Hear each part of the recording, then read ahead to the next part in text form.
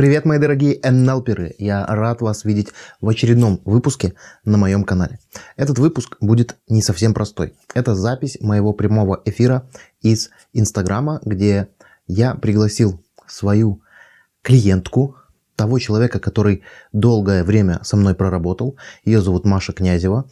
Она работала со мной в личной терапии около полугода и получила на мой взгляд, прекраснейшие результаты. В записи этого эфира она будет рассказывать, с чем она пришла, как мы работали, она будет рассказывать в большей степени обо мне, ну и во многом она будет рассказывать о себе. А ситуация у нее была, поверьте, не очень простая. У нее был развод. Она не понимала, кто она и что она, что она хочет. У, у нее были сложные отношения э, с родителями. В общем, там огромный такой клубок все, все, всевозможных проблем э, у нее был. И мы, да, постепенно этот клубок распутывали. И, на мой взгляд, получилось очень даже хорошо в плане результатов. Да и она внешне очень сильно преобразилась. И о чем я хочу тебя еще попросить, мой дорогой НЛПер. Совсем скоро, 5 сентября, я буду проводить закрытый онлайн практикум по техникам работы с созависимостями. Я буду рассказывать, как формируются созависимые отношения. Созависимые отношения – это такие отношения, в которых тебе одновременно и плохо, и одновременно ты не можешь эти отношения прекратить. Ты зависим от другого человека, ты зависим от настроения этого человека, ты зависим от его обвинений. В общем, ты не владеешь собой, но одновременно все понимаешь головой, в этих отношениях тебе тяжело оставаться, и тебе нужно бы эти отношения прекратить, но ты их не прекращаешь. Вот это об этом. На практикуме я буду демонстрировать аж целых четыре варианта э, исполнения техники отсушка. Там есть свои нюансы. В общем, приглашаю тебя, если тебе интересна эта тема. Созависимые отношения, они бывают не только э, в романтических отношениях. Созависимые отношения бывают и э, в деловой среде, где люди постоянно собачатся, но вроде как делают одно дело. И такого очень много. Перейди на страничку нашего практикума. Если тебе эта тема интересна, он очень доступный. Стоимость минимальная. Просто ради того, чтобы ценность была осознаваема. Один вечер проведем с тобой вместе, будем разбираться в отношениях, будешь смотреть, как я работаю с этими запросами, будешь хорошо понимать, как выходить из подобного рода взаимоотношений. А теперь я приглашаю тебя к просмотру ролика с Машей. Это тоже получился очень интересный прямой эфир. Поехали. Добрый вечер всем, дорогие мои. Добрый, добрый вечер. Ну что, друзья, будем начинать. И а, мы предупреждаем сразу, мы не готовились. У меня есть три пункта, которые я выписал. Первый пункт – это сколько было сессий у Маши. Второй пункт, сколько было месяцев. И когда было начало, когда был конец. Вот все, что у меня выписано. Все остальное мы будем в текущем формате. И вообще, я немного расскажу для своих э, зрителей. Это, Маша тебе пишет, чтобы ты не волновалась, потому что ты прекрасна. Да, э, кто такая Маша? Маша мой э, в этом году топ-клиент. Э, Объясню почему. Не потому, что она там больше всех сессий взяла, а, есть еще и другие персонажи, которые побольше брали. Но суть не в этом. Суть в том, что а, Маша один из немногих людей, вот я вам сейчас объясню, почему именно я Машей восхищаюсь. Я очень много работаю индивидуально с людьми, и я уже давно, вот кто психолог, меня поймет, я уже давно перестал давать домашние задания людям. Почему? Потому что их никто нифига не делает. Или если там даешь какое-то домашнее задание, оно должно быть ну, супер минимальным. А Маша оказалась одним из тех людей, которые прям вот э, берет и делает. Она пришла на первую сессию, такая, здравствуйте, Юрий. Э, а Помнишь, Маш? Здравствуйте. Потом что-то в ней случилось, она такая говорит, а можно на «ты»? И все, и, и все стало получаться прям очень хорошо. Так вот, я хочу сказать всем, что как бы вы ни занимались с тренером, с коучем, а, смотрите видеоролики, мои, чужие, любые другие, Машины сторис смотрите. Маша тоже много чего рассказывает и упражнений дает. Э, если вы эти упражнения делать не будете, то результатов не будет. А у Маши хорошие результаты именно потому, что, ну, я считаю, здесь есть две причины. Первая причина – это то, что тебя допекли, довели до ручки, ну, или ты сама себя допекла.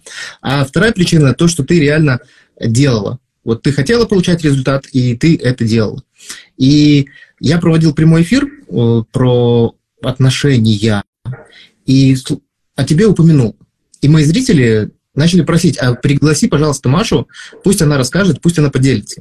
И вот, собственно говоря, я тебя и пригласил. Так что, Маша, сегодня ты будешь много говорить, много рассказывать, много делиться, а я тебе буду задавать, наверное, вопрос. Так будет проще. Хорошо? Да, давай, давай, супер. Давай. И тогда первый вопрос. Э, ну, звучит так. А почему ты вообще решила обратиться за помощью к психологу? Слушай, ну, потому что я поняла, что я просто сама не вывожу. И там писали вот в комментах еще этот вопрос тоже, что стало таким, наверное, финальной точкой в поход в терапию. Uh, у меня это не первый опыт работы с психологом и не последний. Это изменяю Юре с другим человеком. Но эм, то есть э, вот в тот момент, когда я пошла к Юре, то есть для меня а, был финал, и я поймала себя на очередном круге. А тут можно матом ругаться в этом эфире? Ты знаешь, наверное, нежелательно. Ну, ага, хорошо. Не я готова. поймала себя на очередном круге звездеца, а, на котором как бы я снова и снова оказалась в ситуации, когда, как мне казалось, я все нечестно, все несправедливо, почему мир ко мне так относится, и почему люди ко мне так относятся, и определенный человек ко мне так относится, и вообще, типа, как это произошло. И я вообще, ну, пошла с этим разбираться, чтобы вот эту злость свою э, к другому человеку куда-то деть. И прекратить э, череду одинаковых событий, которые каждый раз ранили меня и приносили мне ущерб, все больше, больше и больше. То есть я ощутила физически, эмоционально, ну, у меня была такая сильная эмоциональная боль, я, э, Юлечка, привет, я ее ощутила физически, и после этого я поняла, что я просто больше так не могу, потому что как бы ну, я сейчас могу много тут еще рассказать, я уже там это прокачанный человек. Короче, на тот момент я просто знала, что я больше так не могу. И вот я пошла к Юре, и Юра реально классно рассказал про задания. У меня были офигенные задания. И я делала все. А они мне все... Не все, не все, не все. Ну, подожди, ну ладно, одно не сделала, последнее. Про какашку помнишь э, задание? Да. Мы, давай и... это самое, кто для, сидит до конца, мы рас, расскажем. Это задание на самом деле. Давай не будем, не, давай не будем. Почему? Ну, ну, пожалуйста, давай не будем. Это, это отвратительное задание. Я надеюсь, что его никому никогда не придется делать. Так, потому что это... Э, смысл, смысл этого задания на самом деле в том, что ты его не будешь делать. Mm-hmm. Ну, ты понимаешь, ну, понятно, что ты его не сделал. Я бы удивился, если бы ты его сделал. Ну ладно. Но суть не в этом. Давай мы в конце расскажем. Я расскажу про это задание. А, и это как раз-таки будет в тему нашего эфира. Хорошо. Я хочу тебе уточняющий вопрос задать. Вот ты сейчас рассказываешь Давай. про э, то, что ты ходишь по кругу и много раз попадаешь в одну и ту же ситуацию. Да. Как ты до этого дошла? Как ты это заметила? Ну, вот потому что, на самом деле, я заметила, потому что я э, уже до этого много занималась собой. Ну, грубо говоря, там, ходила к другому психологу до этого. Ну, мне там, я поняла, что мне тут подход просто не подходит, и я там через год терапию, ну, закончила. Ну, или, может, он подходил, мне хрен его знает, короче. В общем, э, и я просто... Ну, слушай, у меня это было очевидно. Когда у тебя каждый раз происходит одно и то же, а, каждый раз просто, ну, типа, повторяющаяся ситуация, давай какой-нибудь абстрактный пример тут возьмем, допустим, ну, или давай мой пример возьмем, что абстрактный. У меня была ситуация в отношениях, что со мной, э, ну, как мне тогда казалось, да, плохо поступил любимый человек, и вообще, как бы, ну, типа, почему он так поступает, и это повторяется уже который раз. И, то есть, я, как, это просто уже было невозможно отрицать. Ну, типа, это настолько э, какая-то сюр ситуация, что я, э, ну, как бы... Я, у меня была такая фраза в голове, что ничего не может поменяться, если ты каждый раз делаешь одинаково. И я поняла, что я, видимо, просто делаю что-то не то, либо со мной что-то, ну, типа, со мной что-то не так, потому что, блин, но оно не может повторяться каждый раз какая-то херня. Ну, когда, ну, я такая просто сидела и думала, ну, типа, мне, ну, сколько мне это было, 37, 36, э, в общем, я такая думаю, типа, вот, мне уже там 36 лет, ну, когда я уже вот это буду дышать полной грудью, смотреть на мир счастливыми глазами, я такая буду вся довольная, и все мое настроение не будет зависеть ни от каких обстоятельств. То есть, ну, как бы, у меня вот было такое в голове, и я вот на всем этом нарративе пошла а, к Юре. Угу. Слушай, а еще очень важный аспект хотела бы с тобой обсудить. А от чего ты отталкивалась, когда выбирала психолога? Угу. Ну, да. мне вот это очень интересный момент, потому что, ну, я просто поделюсь, почему мне это важно. Угу. У меня есть люди, которые приходят ко мне в работу по рекомендации, угу. а есть люди, которые каким-то образом чудесным сами меня находят, не знаю, там в YouTube, в Инстаграме, еще где-то. И я заметил, что э, те люди, которые пришли сами, которые вот сами каким-то образом нашли, угу. они как-то больше включены в работу, чем те, которые по рекомендации. Ну, у меня есть для этого тоже объяснение, но я хочу, чтобы ты объяснила, а как ты выбирала именно психолога себе? Да, смотри, я хотела, во-первых, у меня была задача, я то есть поняла, что проблема во мне, я как бы осознала это, наверное, что проблема во мне, и э, проблема не в людях, не в человеке, во мне. То есть мне надо что-то, блин, с собой делать, наконец-то делать что-то с собой.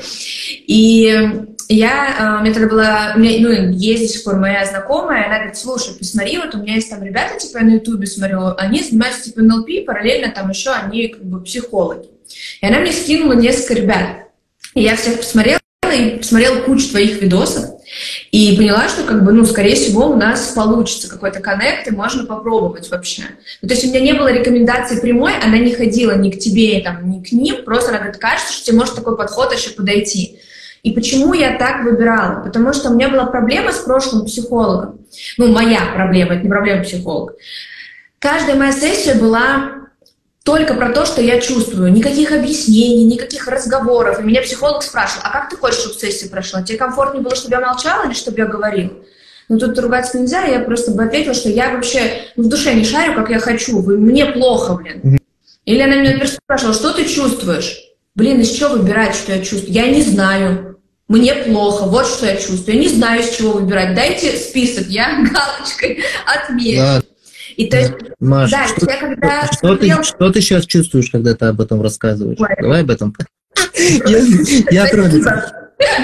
И я в этом, когда пошла к Юре, я понимала, что человек будет давать мне определенные инструменты и будет объяснять, как устроены мои паттерны и механизмы в моей голове, ну и вообще как мир вокруг устроен, в принципе, реальность. Не вот эта вот иллюзорная ширма, которую ты себе нарисовала, что а, ты в белом, а все остальные в коричневом, да, а вот, ну, реальность происходящего. И, и я, когда посмотрела кучу видео, я просто поняла, что человек даст мне инструментарий, потому что я человек инструмента. Я, ну, это не то, что мне нужны инструкции, мне по жизни не нужны инструкции, гарантий никаких нигде быть не может. Я к тому, что а мне это, было... ты так, это ты так сейчас говоришь так уверен. А, гарантий никаких будет. Ну, конечно, слушай, да даже в ипотеке не может быть гарантии. Там, блин, банк рухнул, у тебя договор, все, херак. Короче, а, к тому, что мне, вот, а, мне очень важно было, чтобы меня не спрашивали 25 сессий подряд, что я чувствую, а мне предложили какие-то реально действия, что я могу, как я могу себе помочь с помощью специалиста. То есть у меня была колоссальная разница между вот предыдущим опытом и вот вторым опытом, который меня сделал вот той, которая я есть сейчас.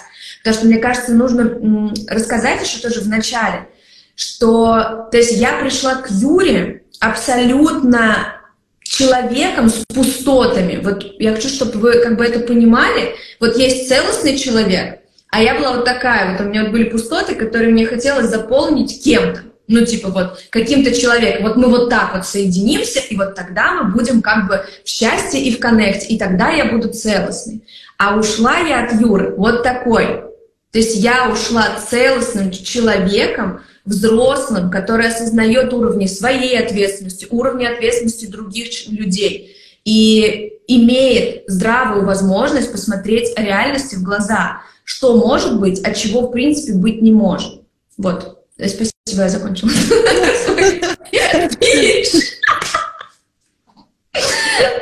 Там что-то пишут, там, Юра, а мы потом, э, ребят, спасибо за ваши комментарии. Я там вижу, вы там и про НЛП вопросы задаете, и делитесь опытом. Спасибо, что делитесь. Вот. А, хочу продолжить. Хорошо. Я просто хочу тоже ребятам пояснить, что ну, у каждого психолога своя методика, да. Кто-то будет долго вас, э, это самое, опускать головой в ваше детство, в какие-то травмы. У меня немножко другой подход в силу того, что я ну, адепт НЛП, и моя задача э, найти структуру проблемы, то есть найти, почему так происходит, и потом вместе уже с клиентом, ну, в данном случае с Машей, найти из ее реальных возможностей, а как она может это менять. Mm-hmm. То есть, да, мы много времени тратили на разбор какого-то паттерна. И э, даже вот у нас с тобой во время сессии было такое, что мы возвращались к одной и той же ситуации, ну, да. то есть она повторялась. Да. То есть, ну, для нас это, ну, для меня это значит, что мы не доисследовали. То есть мы чего-то mm-hmm. про эту ситуацию еще не поняли, и мы дальше начинаем набрасывать инструменты. Я хочу, чтобы э, люди тоже понимали, что там был вопрос, НЛП это про эзотерику, это вообще не про эзотерику. НЛП это про психологию, только это еще и про структуру. Это постараться разобраться, а как это у меня внутри работает, и какие я могу подобрать инструменты для того, чтобы это изменить. Вот в чем заключается, ну, в смысле, чем отличается НЛП консультирование, допустим, там, от гештальта? Мне, наверное, мне кажется, ты гештальт-терапевт ходила, который тебя спрашивал. Я была в гештальте, да, да, да, я была в гештальте. Гештальтисты, я вас очень люблю, вы все классные. Просто не все, не надо каждую сессию спрашивать, что ты чувствуешь. Через раз надо спрашивать. Я, честно, мы, Маш, с тобой э, провели 25 сессий, и, наверное, только 23 я раза тебя спросил, как ты себя чувствуешь, а все остальные не спросил. Поэтому... Ты спрашивал меня каждый раз, а, что я чувствую, но Просто разница была в том, что потом мы разбирали вообще вот эти мои паттерны, поведенческие реакции, как вообще, почему это так устроено и как это реально можно изменить. Вот это для меня было ну, таким очень подходящей историей, что я могла двигаться. Потому что когда меня просто спрашивали, что я чувствую, и ни, ничего не давали, никакой системы координат, ну, это как с подругой встретиться, выпить чайку и разойтись. Только я деньги за это платила. Но у меня есть бесплатная дружба. Я потом поняла, что можно ныть бесплатно и платить за это. Так, круто. Хорошо. А, а расскажи, пожалуйста, что было и что стало? Как ты это видишь? Что у тебя в жизни было? И мы с тобой ну, немало проработали. У меня прям записано. А, с 19 декабря по 17 августа у нас с тобой было ну, почти каждую неделю, там буквально две недели, может быть, ну, два раза мы пропустили, а все остальное вот неделя в неделю. Как ты чувствуешь? Вот э, смотри, на последней сессии, даже не на последней, ты последнюю сессию завалила. Ты собиралась прийти, потом не пришла, э, ну, написала. Так ну, так получилось, да. И ты, ты же поняла, что вот все, хватит. Да. Да, и это тоже важно, э, чтобы человек уже, ну, вот что для меня прям очень важно, чтобы человек оброс инструментами своими, то есть и мог уже сам себе помогать. И вот это прям очень важно. Я ждал от тебя, когда ты уже скажешь, Юр, ну, все классно уже, все. Уже ничего у меня не происходит. Я уже все, жить пойду. Это самое. И вот в чем заключается вопрос. Что у тебя было? Ну, если ты можешь как-то метафорически или в двух словах описать, какое у тебя было состояние, чего тебе хотелось, допустим, или чего тебе не хотелось, и что, стало? Слушай, у меня, наверное, самая большая разница в, ну, в голове, в рамках того, что вот когда я пришла 19 декабря, ну вот ту фотографию, которую вы видели в анонсе, это вот э, мое состояние в декабре, это, это было интересно, так скажем, давайте так назовем. И вот то состояние — это женщина, которая очень хочет на ручки. Вот по-другому его никак не объяснить. Возьмите меня на ручки, купите мне платьишко, я хочу, чтобы обо мне заботились. Вот э, в доме починить я ничего не могу, я же девочка. Э, как бы с интернетом разобраться не могу, я же девочка. В документах я ничего не понимаю, я же девочка. Как бы а девочки, они что делают? А девочки, они только наполняются энергией и отдают эту энергию мужчине, чтобы он стал ресурсным и потом взял тебя на ручки. Вот ты, если ты было еще добавить, что э, дышат маточкой. Обязательно. Это каждый день с утра и вечером. И спрашивать свою матку, что она чувствует. Короче, в общем, это вот реально было вот такое состояние. И если это описать в каком-то эмоционально-чувственном контексте, то это огромный комок обиды на всех вокруг начиная от конкретного человека и заканчивая всем миром. Все несправедливо. Просто все несправедливо. И э, вот это был декабрь. И у меня декабрь был связан с тем, что у меня вот в доме есть лестница а, на второй этаж. И я просто, эта лестница плача у меня была. Каждый день я сидела на этой лестнице и рыдала. Вот реально я просто плакала, а, мне так понравилось, написали, Марк Бартон учит дышать маткой. Марк Бартон рассказывает, что ну, это не матка, вагина женщины запоминает член мужчины и потом полгода перестраивается под другой. Поэтому я думаю, что не стоит верить всему, что говорит Марк Бартон. Итак, в общем, у меня была лестница плача. Это, кстати, реально есть видео в интернете. А, у меня была лестница плача, и я а, и мне казалось, что я с нее вообще никуда не сдвигаюсь. То есть у меня там была третья ступень, она до сих пор есть. А, и я на ней сидела, я просто даже не могла подняться наверх. То есть вот у меня было вот такое состояние, что я физически ощущала вот эту несправедливость какую-то мира, что я ничего не могу изменить, это просто обстоятельства такие, это мне не повезло, это как бы вот, я же так стараюсь, я же такая как бы курочка, красоточка, ну такая прям молодец, типа туда-сюда. И то есть вот это было декабрьское состояние. И когда я закончила с Юрой э, сессию...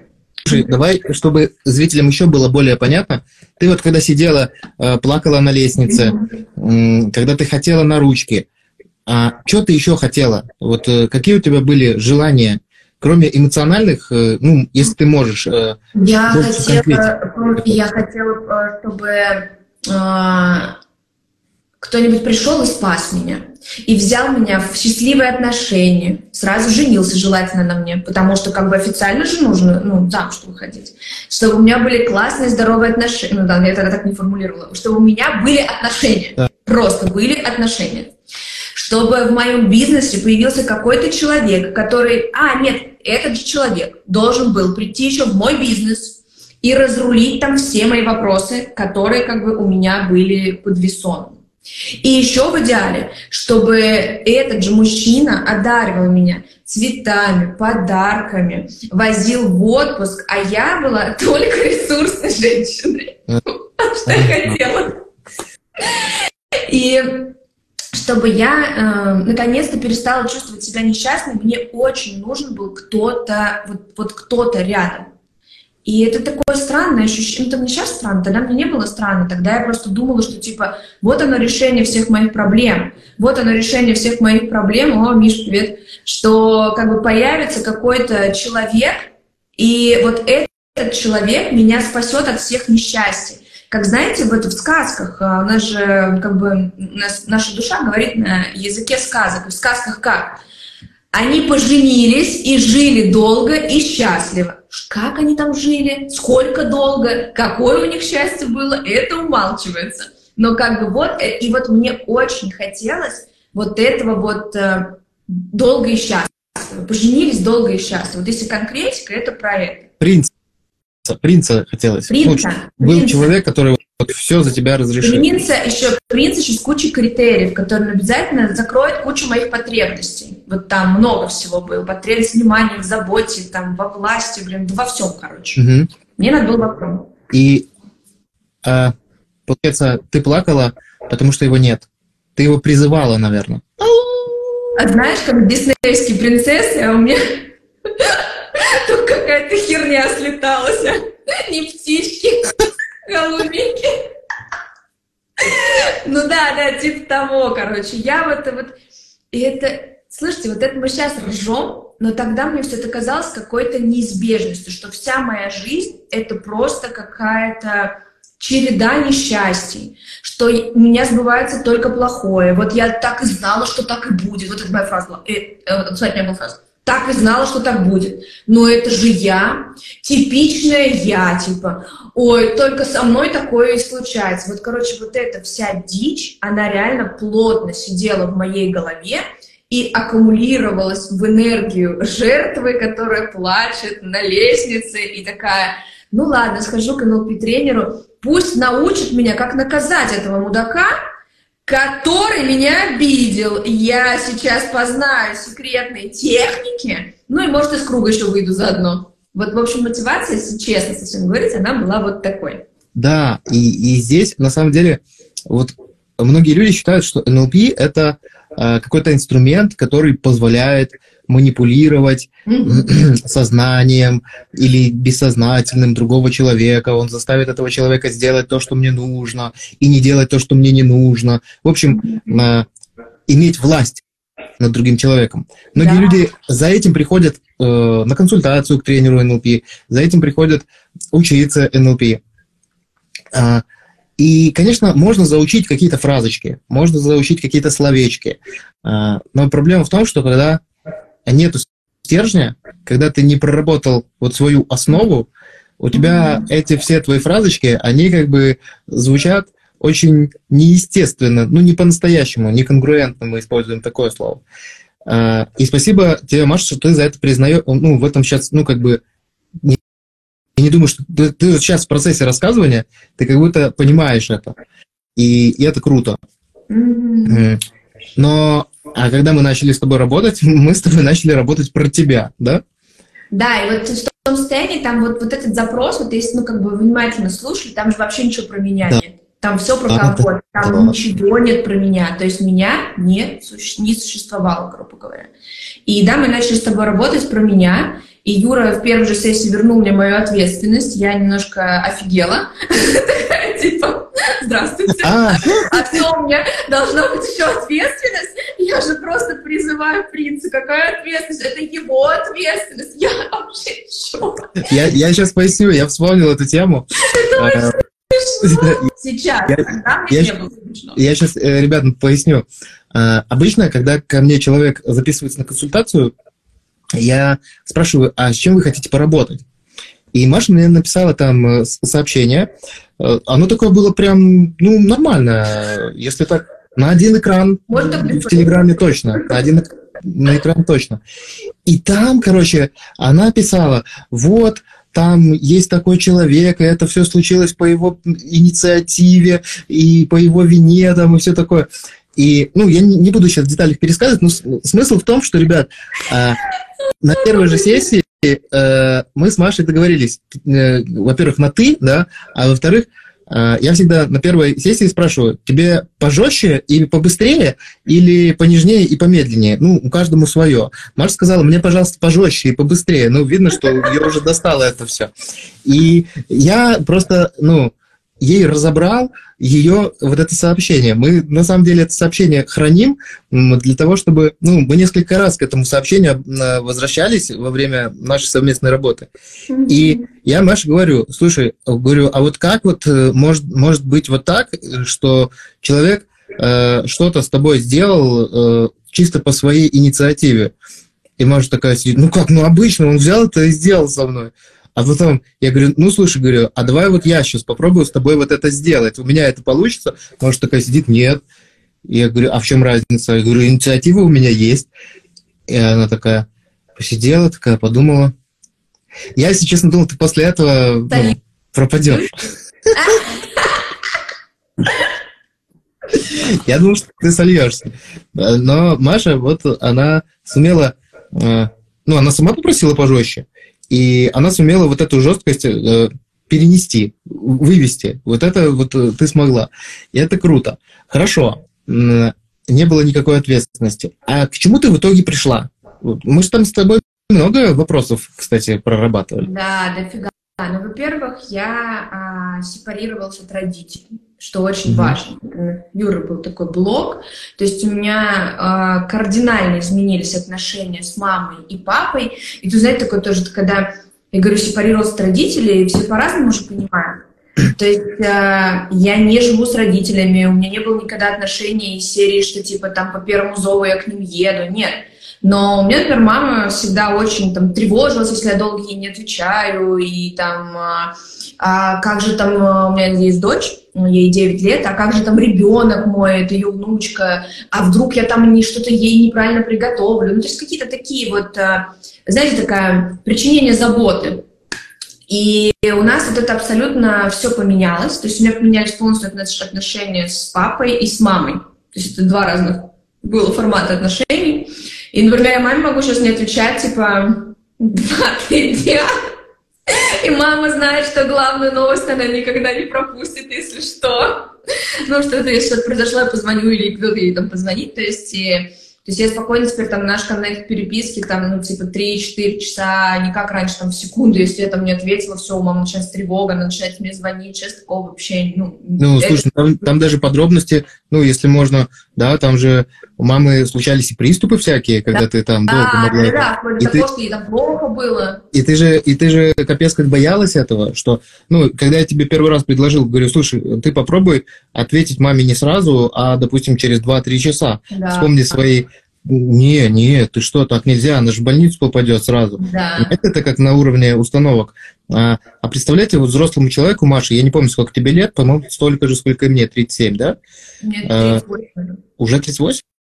Да. Ты старше меня на пару месяцев, ну ладно. И получается, яйца курицу учат. Так вот, а вот Представьте, как взрослому человеку, у которого свой есть ребенок, э, еще нужно трястись по поводу каждого звонка маме, ну, Маше там надо делами своими заниматься, бизнесом, не знаю, отношения свои строить. А мама звонит, и Маше нужно всегда все бросить, э, чтобы у мамы все было хорошо, чтобы у мамы не случился приступ, инфаркт.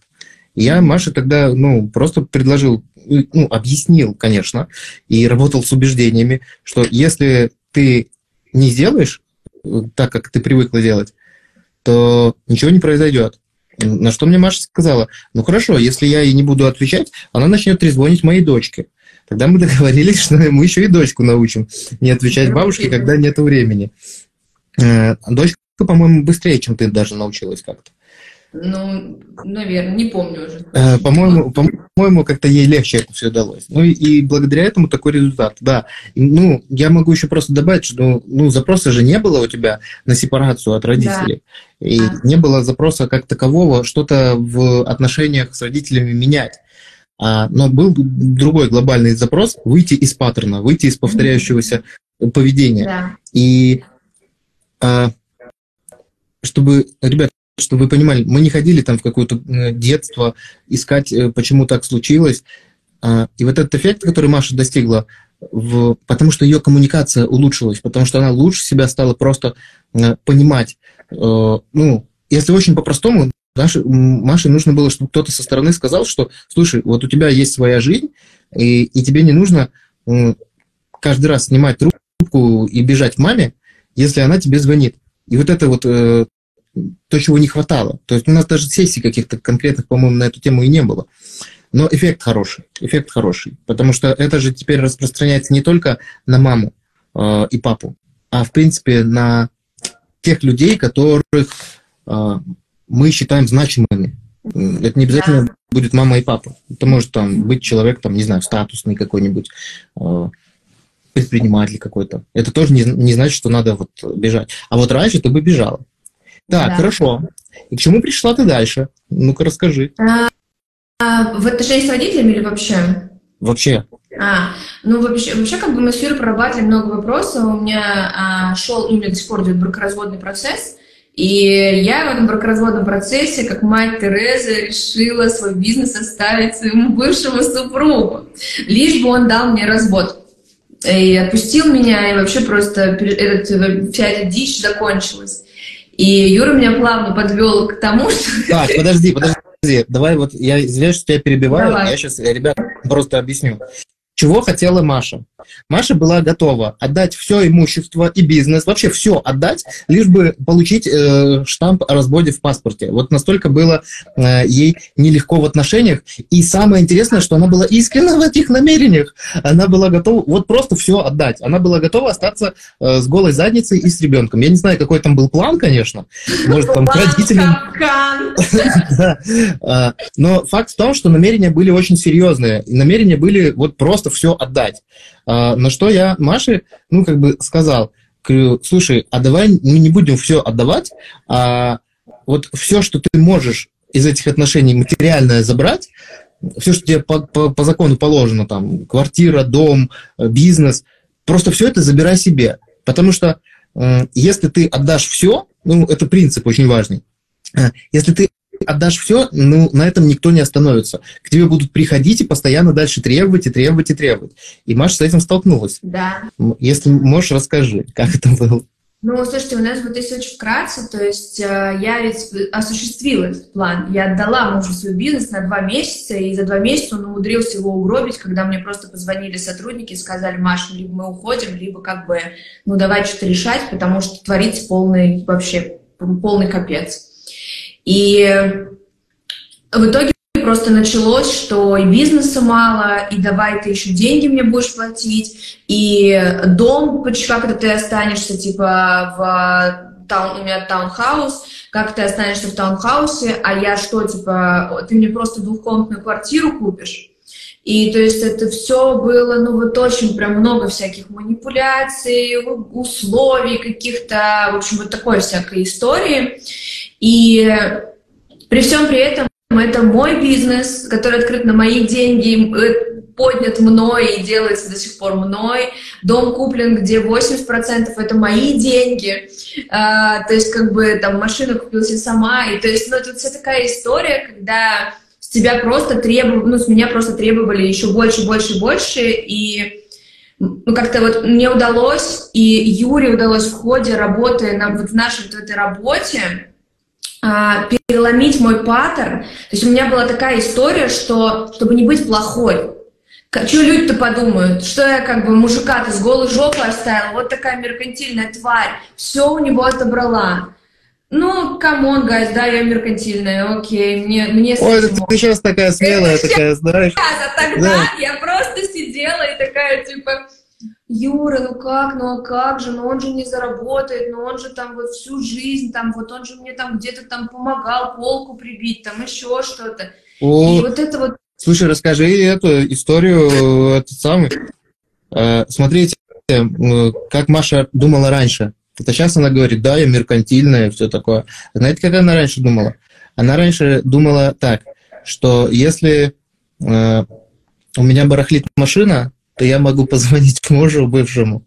Да. И он по-быстрому приедет и, с ней разберется. А за это я ему отдам все, что у меня есть, и буду еще комиссию платить э, пожизненную. А, отдам ему. Да, еще была договоренность, что он как бы, ну, то есть, да, что я э, всю жизнь плачу ему 200 тысяч рублей в месяц. Ни хрена И со всех А ты не знал сумму, да? И со всех остальных своих бизнесов тоже ему буду платить процент, который я открываю, потому что как бы он же прожил со мной 12 лет, и я как бы, ну, как? Вот, нифига себе алименты ты ему это самое. Смотрите, на что была Маша согласна. Она была готова вообще все отдать, еще и за это приплачивать. Да, а знаете да, почему? А потому что это самое, Маша жизнь человеку испортила. Она его а, затащила да. в этот брак, да, забеременела да, да. от него, родила ребенка. А, да. А он все делал, пока она была беременна. 12 лет. Она 12 лет была беременна. И 12 лет сидела в, декрете. А потом э, она это самое э, ну, решила, что хватит. И и все. И решила ему как бы платить теперь дань за испорченную жизнь. Mm-hmm. Вот как она тогда, как она тогда думала. Да, и мне вообще было жутко страшно разводить, делить имущество через суд. То есть мне очень хотелось с ним договориться. Это просто были какие-то ну, я не знаю, это столько часов разговоров потрачено, что и, и я все искренне не понимала. э, почему он не соглашается, ему все это, а ему все мало было, мало и мало, то есть ну, как бы все какие-то новые условия, то какой-то он там поехал, сделал оценку дома, мы вроде договорились, какую сумму я ему выплачу, что я куплю ему эту квартиру там двухкомнатную, значит, э, и, и потом он присылает мне, а, значит, оценку, что он, значит, вызвал какого-то оценщика, без меня приехал, не попал на территорию, но все там снаружи, типа, снял. Это вообще-то какая-то просто, вот это я сейчас вот так смотрю и думаю, вот, ебать, ой, нельзя, вот плохой человек, а тогда я просто, а тогда я просто каждый раз открывала эти сообщения, меня трясло от них, и я не понимала, как я буду ему это выплачивать? У меня же нет сейчас столько денег. Мы же вроде договорились, а нужно еще денег. А где я их возьму? И то есть это реально вот этот вот, ну, вот эта установка в голове, что я испортила человеку жизнь, я почему-то была э, ответственна ментально за его какие-то бездействия, потому что бездействие, что же действие? Вообще за него, за его выборы. Ну, и тогда это очень плотно сидело, и, конечно, вот, вот это то, что мы проработали, это пушка, бомба. То есть сейчас э, мы разводимся через суд, делим имущество через суд, все мои разговоры с э, бывшим супругом только из роли родителя. И вот у нас тут был, это сейчас у нас реально эксклюзив контент, просто мои подписчики будут смотреть записи, потом они там офигеют.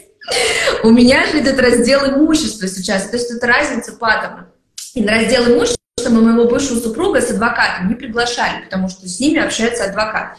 Но он приехал, и я, значит, увидела эту машину его, а, значит, выхожу и говорю, а, значит, я имею полное право по закону, а он мне говорит, ты меня пустишь?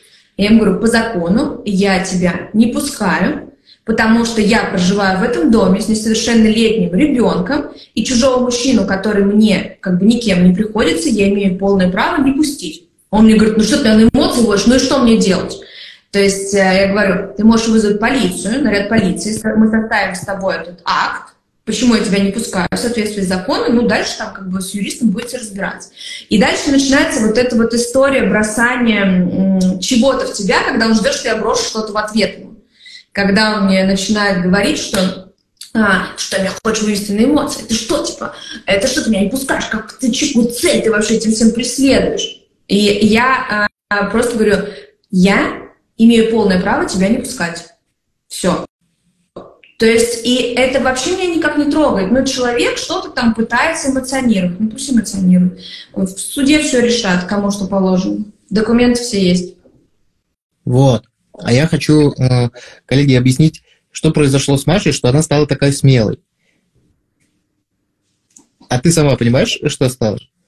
Слушай, вот как мне кажется, что внутри меня появился внутренний стержень, и мне абсолютно не нужна никакая доказательная база извне, что со мной все ок, и мои решения правильные, потому что это мои решения. Ну, да, а я так. это объясняю э, чуть-чуть по-другому что мы с тобой э, убрали, удалили, перетрансформировали у тебя желание быть хорошей, быть хорошенькой, хорошей. Mm-hmm. Я, конечно, другое слово бы использовал на букву П. Э, Я знаю. Да. Прикольной, быть прикольной, быть Давай. прикольной, да. И вот это очень важно, что когда ты избавляешься от желания быть хорошеньким, быть ну давайте будем использовать слово хорошенький, а, тогда и появляется вот этот внутренний стержень. Тебе уже не важно, как ты выглядишь, тебе уже не важно, что о тебе подумают, ты просто знаешь э, свою правду и, ну, насколько возможно, адек- э, адекватно и объективно оцениваешь ситуацию. Маш, я слежу за эфиром. Ребят, спасибо за то, что вы пишете. Ну, на секунду такая организационная. Mm-hmm. Тут пишут, да. что тема эфира огонь. Мы потом обязательно зачитаем все, что вы пишите. Вы можете да, писать пишите, дальше. пожалуйста, интересны ли вам вот эти подробности? Конечно, интересно. Конечно, интересно. Вы можете в моменте про подробности задавать вопросы. А что еще хочу вас попросить? Вы можете нажать на самолетик, поделиться этим прямым эфиром, чтобы а, этот эфир увидела как можно больше людей, потому что он действительно, на мой взгляд, очень ценный и полезный. И а, ценность, она всегда находится в моменте. Можно, конечно, смотреть в записи, но когда ты находишься в моменте, ну, формируется какой-то вот... Я хоть и не про эзотерику, но я понимаю, что даже если ты просто смотришь в моменте, и даже если ты вопросы не задаешь, оно все равно как-то... Как будто люди чувствуют и отвечают на твои вопросы. Да, э, поэтому поставьте огонечков этому эфиру, сердечек, э, нажмите на самолетик, поделитесь э, со своими друзьями и близкими. А мы с Машей продолжим. Маш, ну еще полчасика где-то, да? Больше да. не будем. Надеюсь. Да. А, хорошо. Мы остановились на том, что ты перестала быть хорошенькой. Да, перестала. О, пошли сердечки. Спасибо, друзья. Так, и, Маша, спасибо тебе за то, что делишься. На самом деле очень, очень важно. Хорошо, перестала ты быть хорошенькой. С мамой и с папой разобралась. Перестала быть хорошенькой. Что происходило дальше? У меня поменялось э, в какой-то момент отношение, отношение с ребенком. Mm-hmm. То есть э, у меня было такое ощущение, вот это, наверное, опять же все из-за того, что я перестала быть хорошей, что я могу, я получила возможность просто быть собой, вообще просто быть неважно какой. И у меня до этого отношения, у меня всегда были хорошие отношения с дочерью, но я очень уставала. То есть я целый день с ней проводила, и энергетически в конце дня я просто, ну, реально такая, господи, целый день с ребенком, типа, там, тяжело. А после того, как мы это убрали, то есть мои отношения с дочерью, они стали еще более честными, еще более искренними, и я вообще перестала уставать. Ну, там, ну чего у нее там, не хочет она есть, ну ладно, как захочет, скажет. То есть я перестала постоянно пытаться быть хорошей мамой накормить по графику, обязательно там, типа, э, 7 дней в неделю мы должны 24 на 7 провести время вместе, иначе если там люди скажут, а вдруг она у тебя там что, на выходной бабушке ушла? Ты плохая мать, линчевать эту женщину, все. Ну, типа того, то есть у меня вот эта вся ересь просто ушла. И Юра мне дал такую классную штуку, он рассказывал мне, что э, дети как бы помнят вот эти вот фрагментарные воспоминания из детства, когда какие-то яркие, то есть вот типа ребенок будет помнить, как вы там э, вместе куда-то поехали, вы там провели время, там вот это вот все. И я реально начала формировать эти, еще больше как формировать эти воспоминания у дочери, и это очень сильно мне помогло. И второе, когда у меня была тоже такая штука, что вот пары, которые разводятся, многие сталкиваются с такой историей, что типа защитить второго. Ну, женщина защищает бывшего мужа, он же все равно отец, и начинаются какие-то оправдания, типа, папа тебе не, поз не позвонил там, потому что, ну, папа, наверное, занят. Или уходит в другую крайность, там, ну, типа того, там, козел вообще, там, всякое такое. И вот у меня была первая история, я постоянно его оправдывала. Он мало общается у меня с ребенком вообще, то есть как бы... И я всегда, когда она меня спрашивала, типа, папа мне там не звонит, не пишет, и я говорила, типа, ну, Милан, он, наверное, там работает, у него там дела. А вообще, как бы потом я выяснила, что, что вообще лучше так не делать, а лучше возвращать ему его ответственность. И говорит, Милан, тебя когда заберет в следующий раз, ты спроси у него, пожалуйста, почему он тебе не пишет, и как бы вообще, как бы, ну, как там дела-то обстоят. И у нас там вот такие много всяких было историй, когда у нас были манипуляции, в том числе со стороны бывшего супруга к ребенку, когда он высказывал какое-то мнение ей про меня, серии «Я приехал там тебя забрать, а мама твоя даже со мной не провела время, я вот ей даже там купил конфеты, а она не забрала». И это как бы часть этой истории, в принципе, придумана. И то есть а, моей предыдущей модели поведения я бы начала оправдываться, говорить, Милан, ну я не знал, ну да, папа такой молодец, смотри, там даже конфеты привез, там он все равно твой папа. А я уже начала действовать иначе, я ей говорила, Милан, ну ты спроси у него, почему он э, не подарил конфеты, если у него была такая возможность. Ты ему задай этот вопрос, как бы, когда там, если он поднимет тему, ты у него спроси. И ребенок один раз, кстати, так и сделал. Случилась такая история. И Э, что она, э, в общем, история была такая. Э, мой бывший супруг купил Миланию электросамокат. Юр, ты не знаешь, что это история, это уже был после окончания. Да, давай. Электросамокат. Ну, то есть помним, да, историю, что как бы там деньги это ключевое вообще там все, да? Но электросамокат он успел купить. И, а, значит, Милана попросила его покормить ее, потому что она хотела есть. И на что он ей ответил, ну, слушай, тут все дорого, я тебе уже самокат купил. Как бы еды уже не будет, товарищ. Все. И дальше началась такая история, что типа... Э, это мама вот там у тебя, там вот о, это я там бедно живу, там это вот мама у тебя такая там а, богатая, вот она там в доме вы остались, а я вот такой типа, ну ты вот там а, вот значит про маму. И Милана ему как бы на это говорит, что типа, пап, ну мы же сейчас с тобой, при чем здесь мама? Если ты хочешь что-то у мамы спросить, ты у нее спроси сам, мы-то с тобой друг про друга общаемся. И он, конечно, не нашел ей, что на это ответить.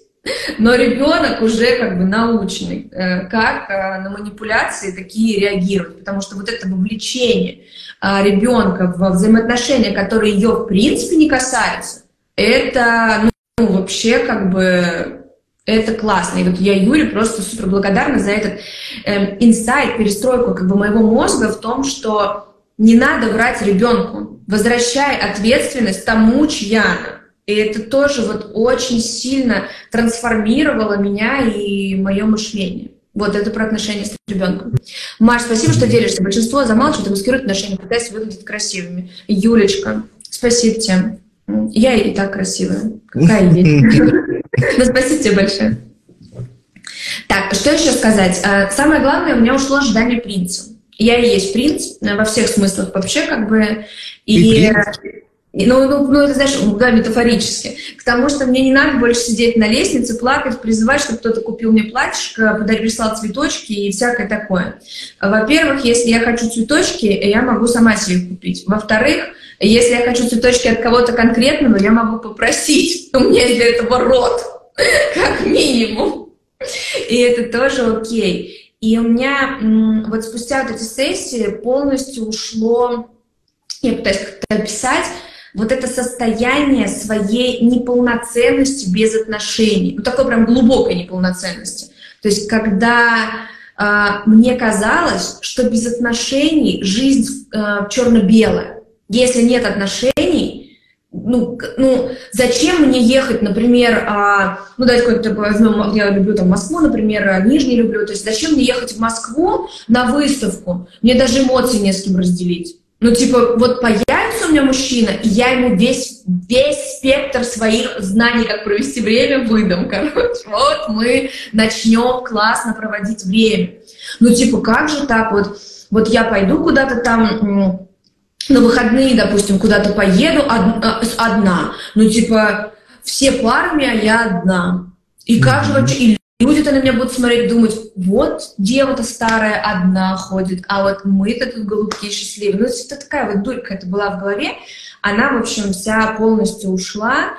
И уж вот это... Я это формулирую так, что у меня нет нужды в отношениях. Это не то, что я их не хочу, это разное, не про это. Нет жгучей потребности закрыть кем-то дыры, потому что... Ну, я ждал, пока ты скажешь это слово. Да, вот закрыть эти дыры, потому что я их больше не чувствую. Ну, потому, То есть... потому что ты их э, закрыла. Да. Да, я поясню. На самом деле, вот те люди, которые очень прям вот спешат в отношения, которые приходят, я хочу отношения, я наконец хочу отношения, или я хочу отношения именно с этим человеком, там, и все такое. Тут как раз-таки речь о том, что ну, у всех у нас есть какие-то травмы. Я их называю дырки, да. Дырки можно метафорически представлять, как Маша вначале описывала, что вот я была вот такая вот дырявая, да, а сейчас я чувствую себя вот такой вот целый. И вот это как раз-таки про это, потому что мы очень часто Э, несемся, летим, бежим, либо вступаем, как в одну интересную субстанцию, субстанцию в отношения э, для того, чтобы, э, не для того, чтобы, а с надеждой, что вот эти наши дырки, хочу на ручки, хочу, чтобы за меня кто-то там кран поремонтировал, хочу, если девушка, да, если мужчина, да. хочу, чтобы вместо меня кто-то там поутюжил рубашку или сделал покушать. Вот это вот все, это же не про любовь, это про то, что я хочу, чтобы кто-то э, затыкал мои дыры и закрывал мои потребности. Ну, это, да? Это про... родительская вообще позиция. Ну, да, это очень интересная позиция, но многие люди из этой позиции как раз-таки и живут. Да. Ну, э, друзья, надо взрослеть. И я хотел бы с тобой, знаешь, сейчас, Маша, такой вот вопрос э, за этот самый затронуть.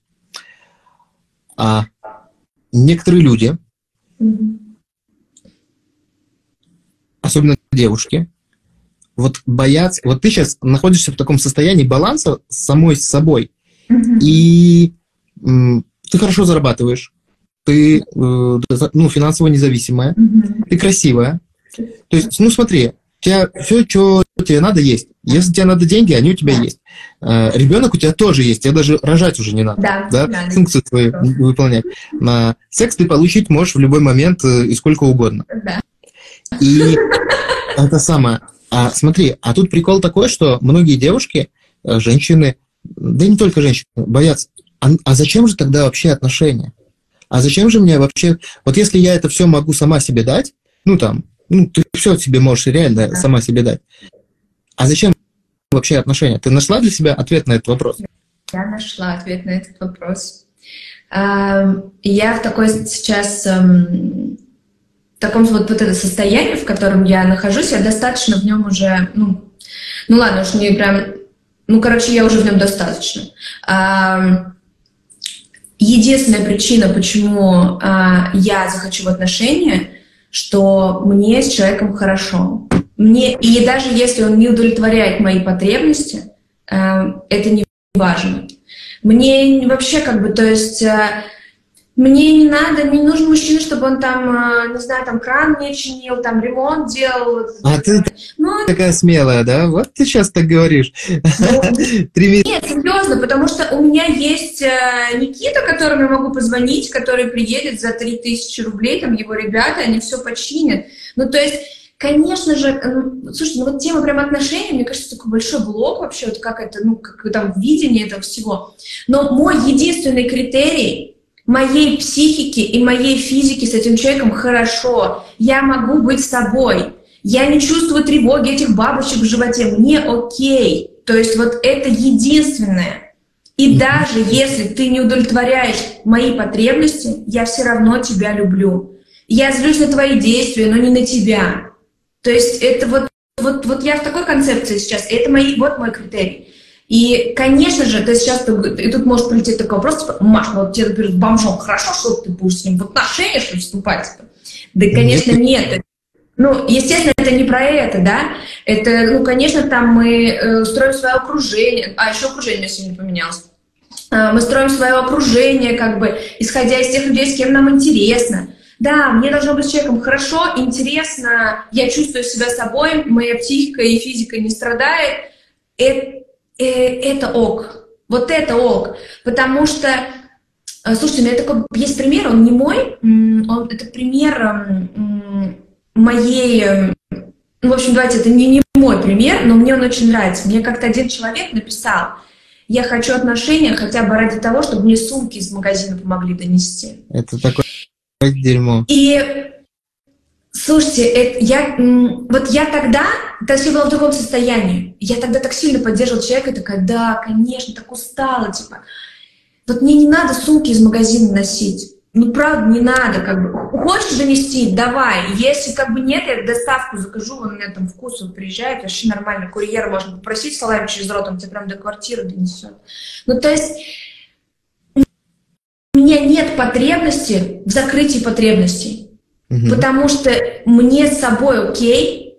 И единственная причина, почему я начну отношения, попробую отношения, э, я себя чувствую, то есть я, я мне с собой хорошо.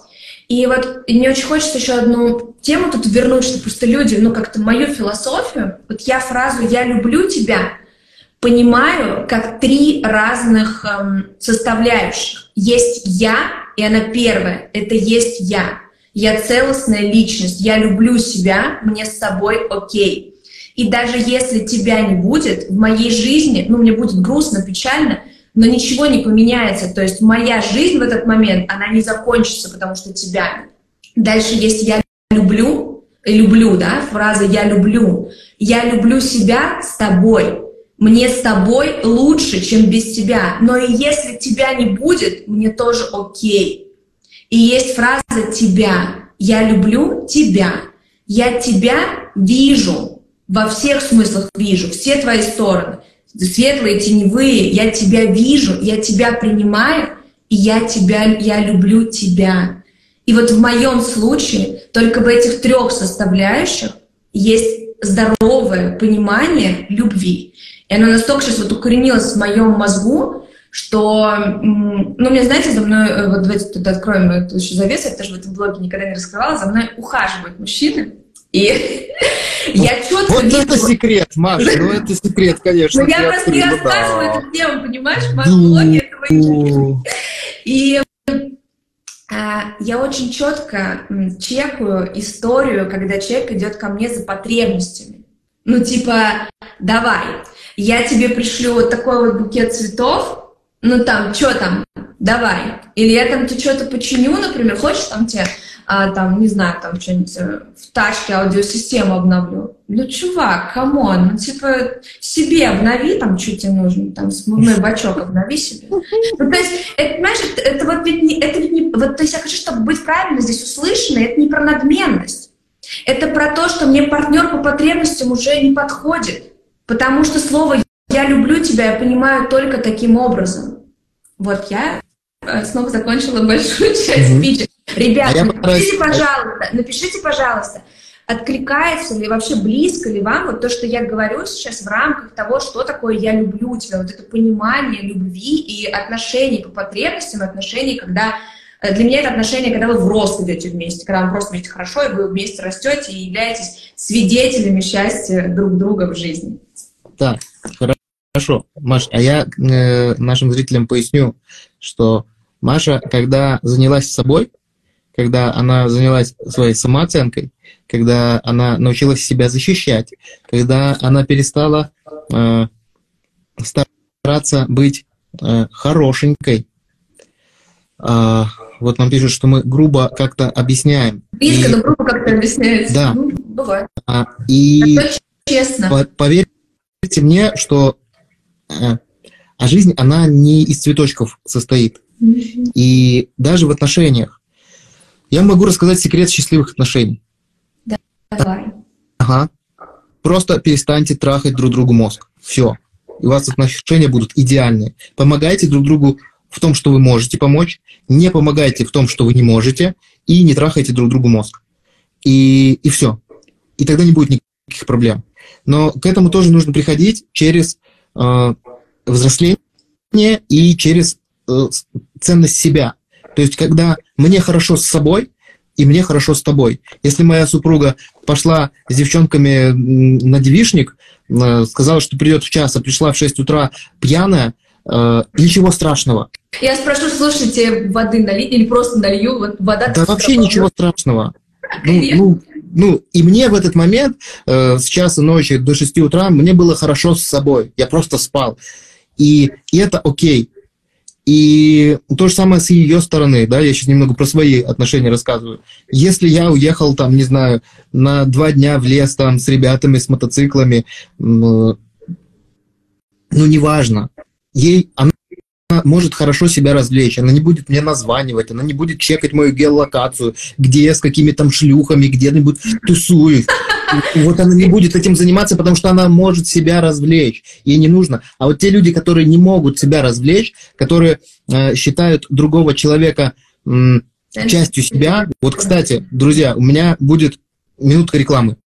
Будет э, 5 сентября, можете по ссылке в шапке профиля найти, практикум по зависимостям, где я детально рассказываю, вот как выйти из этого вот дурацкого страдания, перестать контролировать, перестать э, считать человека своей собственностью. Ну, это отдельная тема. Я просто сейчас поясняю, что вот ключевая идея, Маша сказала, я люблю тебя, я сначала люблю себя, потом люблю все остальное, и потом еще вижу тебя, ну, то есть я не запомнил, но идея мне нравится. А я рассказываю со своей точки зрения, что да, счастливые отношения бывают при одном условии, когда мы помогаем друг другу расти и не трахаем друг другу мозг. Все. И дальше можно двигаться прекрасно э, вперед. У нас написали вопросик. Давай. Э, написали вопросик. Юрий, ответили ли вы на вопросы, которые были выше? Давайте, давай, Маш, я сейчас посмотрю. Давай. Ребят, вы пока можете, пускай Маша Горлышко тоже отдохнет, она много сегодня рассказывает.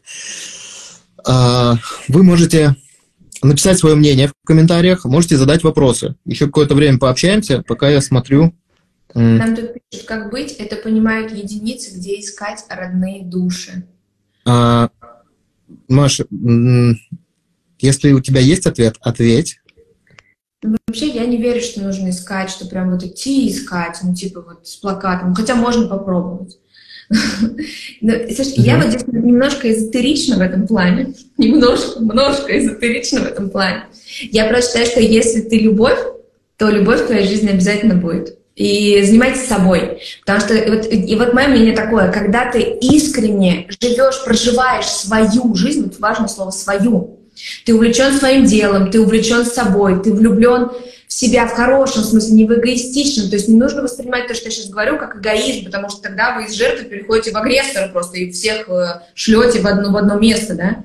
А когда вы действительно вы горите жизнью, вы горите своим делом, вы горите, ну там сидите с детьми, вам прям клево с ними, вам классно с собой, вы э, расширяете окружение, новые впечатления. Блин, неизбежно, чтобы встретить свою родную душу. Неизбежно. Вы просто притянете тех людей, которые должны быть uh, у вас в поле. Вот я верю в такое. И я по такой модели иду.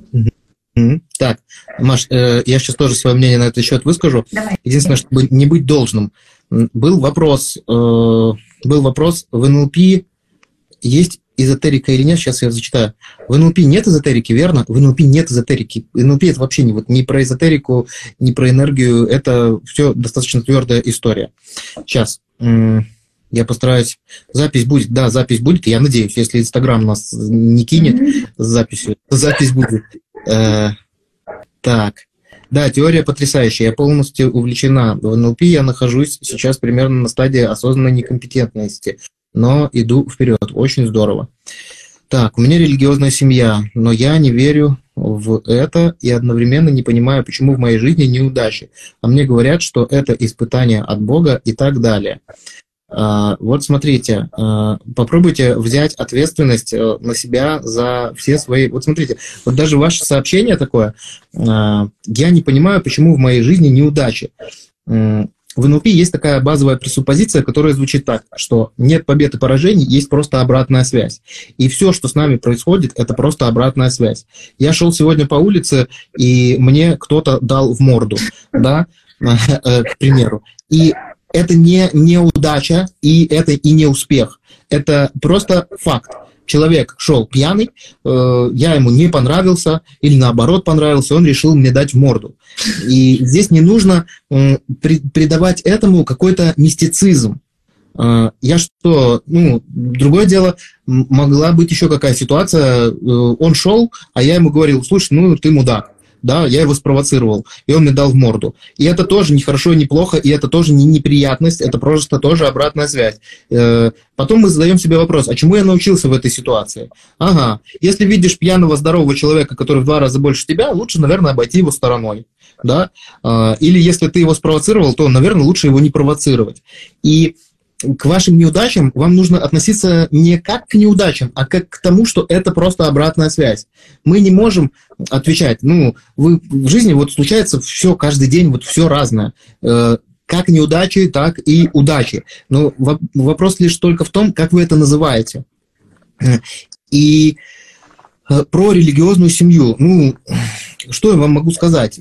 Понимаете, религию уже тоже человек по-разному использует я знаю очень много э, разных э, религиозных людей, которые благодаря э, религии своей, ну, получают какие-то хорошие выдающиеся результаты, и семьи у них прекрасные, и в бизнесе у них дела в гору идут. Но бывают же люди используют религию как оправдание своего бездействия, да? Ну, тебе не везет, ну, это Бог тебе такую судьбу прописал. Вот это вообще капец. Вот когда вы таким образом религию используете, то это это очень плохо работает. Я вам по секрету скажу, у меня на курсе НЛП есть священник. А, никто не знает, кто он. Ну, он мне рассказал, а, что он священник. Но те, кто учится, ребята, никто не знает. И он периодически мне рассказывает, как он, а, к нему там на исповедь люди приходят, и он, понимая базовые пресуппозиции НЛП, понимая, как э, там действует гипноз, как действуют э, ну, всевозможные модели речевые, конструкции, как э, человеку помочь правильное убеждение сформировать. И он мне периодически ну, рассказывает, как он это увидел и как ему удалось помочь человеку, вот прямо во время исповеди. Поэтому здесь вопрос в том, что как мы это для себя интерпретируем, как мы это себе называем, если вы будете это называть неудачами, э, карой небесной э, или чем-нибудь еще, или тем, что, знаете, еще как могут. Понимаете, вот э, я не хочу никого обижать, но среди религиозных людей очень много людей неосознанных. Ну, к сожалению, это так которые просто э, заучивают догмы какие-то э, и пытаются им следовать, но внутри, как говорится, стержня нет. Это можно сравнить, ну, на самом деле, с тренингами по, по пикапу да, вот э, молодые парни хотят с девчонками знакомиться, и, и это самое, фразочки заучивают модные, как девушку там типа зацепить, а встречаются на поле с девушкой, и они эту фразу сказать не могут, потому что стержня внутреннего нету. Да, фразу ты заучил, стихотворение ты выучил, но рассказать ты его не можешь, потому что у тебя внутри, потому что эту фразу кто-то другой создал, и под другим, скажем так, под другой энергией, под, другим, под другим настроением, под другой уверенностью. И а, вот завершая вопрос про религиозность, а, даже в религии все зависит от вашего фокуса. Если вы скажете, что это а, испытание, и вопрос, как вы относитесь к испытаниям? Это испытание вам в наказание за что-то, либо это это испытание, чтобы вы стали лучше. Тут все зависит от слов, все зависит от формулировок. Маша, отдыхаешь? Да, я это слушаю. Ага. Так, как объяснить то, что мои мысли плохие сбываются? Я боюсь болезней, и в итоге и сейчас их испытываю. Ну, про это уже написано очень много книг. А во-вторых, ну, начните думать хорошие мысли, пускай ваши мысли хорошие э, начнут сбываться. А, и тогда вы себя разубедите вот в этом убеждении, что ваши мысли плохие сбываются. Потому что если ваши мысли плохие сбываются, то и хорошие, по идее, должны э, сбываться. А если вы начнете думать только хорошие мысли, и они начнут сбываться, значит, э, ваши плохие мысли, они не сбывались, а просто у вас было много совпадений. Я вот так вот это объясню. Так. Но, наверное, те, которые были давно вопросы, я ответил. А сейчас посмотрим, что у нас есть из свежего. Давай Грубо. На то, как быть, что, что такое а. «я люблю тебя» понимают единицы, где искать э, родные души. Угу. Так вот, по сути, я это объясняю очень просто. Когда ты увлечен собой, ты по-любому харизматичен. Когда ты занимаешься своим делом, когда ты э, развиваешься как специалист в чем угодно, ты можешь развиваться, не знаю, как продавец в супермаркете. Но делай это с интересом. Делай это с пониманием, для чего ты это делаешь.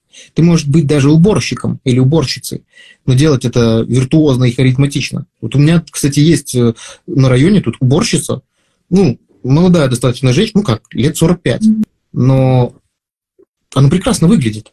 Да, она метлой вот э, ходит, э, дворы метет. Но она прекрасно выглядит. И я, блин, на нее смотрю, я, я говорю, я не могу к ней не подойти.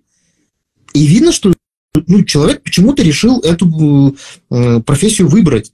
И там видно, что ну, наверняка у нее и образование есть, и есть ей где жить. Э, мне кажется, ей просто в прикол наводить чистоту. Ну, бывают такие люди. И ну, невозможно не подойти к такому человеку.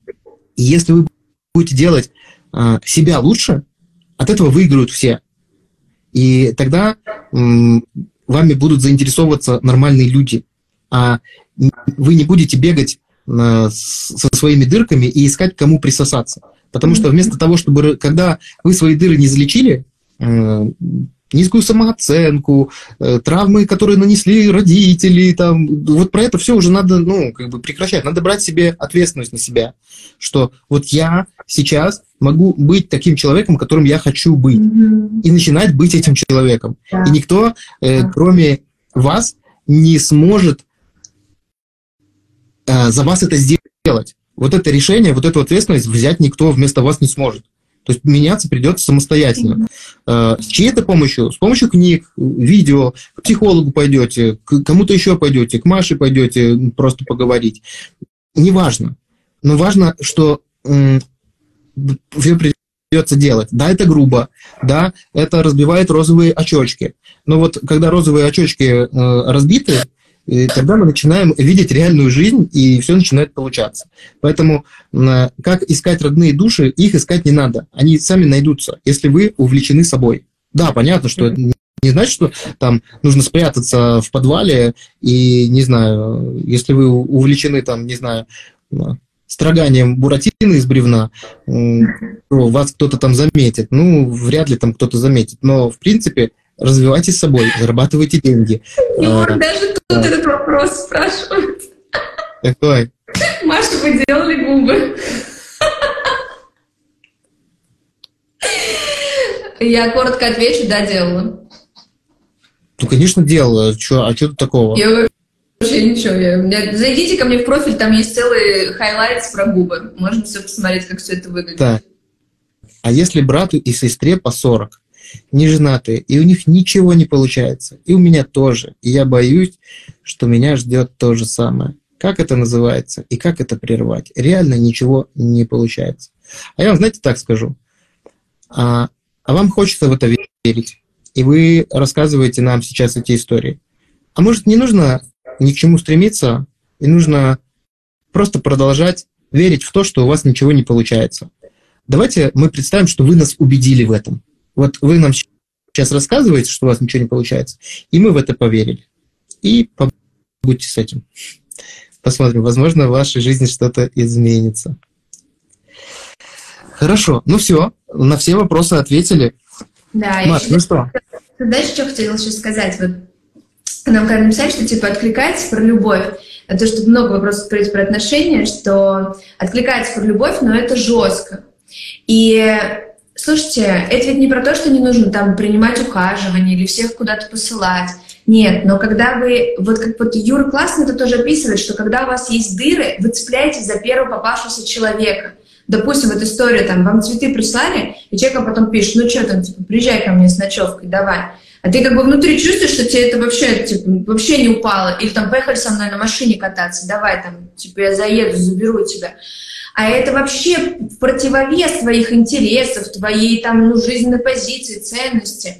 И очень большое количество девушек соглашаются, лишь бы было, потому что нужно закрыть вот это вот.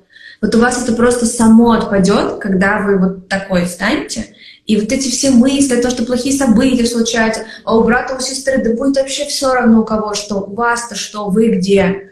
Потому что будете думать, э, вот классная фраза, здоровая фраза «я хочу для себя».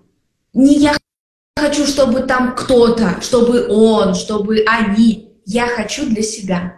Вот вы чего хотите для себя? И тогда у вас вот, вот этих вопросов тогда, их будет, ну, точно кратно меньше. Да, здесь просто такая, э, такое ощущение, знаете, что э, человек просто сидит, наблюдает за другими, но э, с собой ничего не делает. И часто такое происходит, э, потому что у себя, у себя в своей жизни такой бардак, что проще наблюдать за другими. И, а чтобы бардак, э, с бардаком разобраться, нужно просто потихонечку начать с ним разбираться. В году 365 дней. Если один день, каждый день читать одну книгу, то ой, одну книгу, одну страницу книги, то за год можно 365 страниц прочитать, да. Если э, я где-то делал расчет, что там, если худеть в день на, по-моему, 50 грамм, то за год можно, по-моему, на 15 килограмм похудеть, и это Неплохо. тоже очень. А? Неплохо, говорю. Ну, 50 грамм в сутки сбрасывать вообще легко. Э, и не надо там сильно себя ограничивать. А за год ты теряешь 15 килограмм и уже прям... Ну и много такого можно э, чего делать. Э, и главное начинать. Главное начинать. Да. Так. Ну что, Маш, давай будем заканчивать, наверное. Давай. У нас такой какой-то эфир, полтора часа пролетел, как будто полторы минуты. Да. Да, ну потому что очень много и живо, знаешь, э, спасибо тебе за то, что ты рассказал вот эти все ситуации и с бывшим мужем, там, и с делением э, имущества, и с тем, какая ты пришла, и как ты думала, как ты перекладывала ответственность на всех. Ну, на самом деле, это же очень ценно, потому что люди посмотрят и будут э, понимать, что все возможно вообще, все очень реально. Вот вы сейчас смотрите там на Машу, она такая прям, ну, просто, просто конфета, да? А вы посмотрите, какая у нее на странице есть. Я, я прям, я сегодня вообще вскочил. Знаешь, э, была такая фотка, где ты сегодня, потом фотка, вырезанная с сессии, и для меня вообще неждан. Третья фотка, где ты там вообще вот такая вот. Я такой, прям, нихера себе! Типа, вот этого я вообще не ожидал, что было еще и так. Вот. И да все, все бывают в разных ситуациях. Самое главное, ну, на самом деле, хотеть выбраться из этого. Вот так. Большое всем спасибо, друзья. Эфир, да, эфир сохраню и еще, возможно, на YouTube его тоже выложу, если у меня получится. Ну, я думаю, что все получится. Маш, спасибо тебе большое, обнимаю тебя. И, и будем на связи. И я думаю, что мы еще и повторим как-нибудь. Давай. Давай. А, все, ребят, всем. Э, вот, давай сейчас, пока не закончился эфир. Э, пишите когда будете смотреть в записи, пишите в комментариях под этим эфиром, э, что вы важного вынесли, что вы ценного вынесли. Э, пишите, мы это с Машей обязательно будем читать. Пишите, нужны, нужны ли вам еще совместные эфиры. Просите, уточняйте какие-то вопросы, чтобы эфир был максимально приближенный к реальности, а не просто то, о чем нам хочется поговорить с Машей. И мы обязательно сделаем еще. Я все. Да, все. Я тоже. Да. Все, всем пока, всех обнимаем, все пишите вопросы, если будут. Э, кому, кому страшно писать в комментах, пишите в личку. Да. Все, давай, Юра, рад тебя было очень видеть. Все, пока-пока. Счастливо.